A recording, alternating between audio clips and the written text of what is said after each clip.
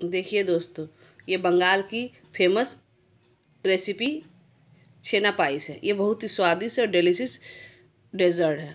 अगर इस तरह की रेसिपी देखना चाहते हैं तो मेरी किचन को लाइक शेयर और सब्सक्राइब ज़रूर करें। तब तक के लिए बाय एंड टेक केयर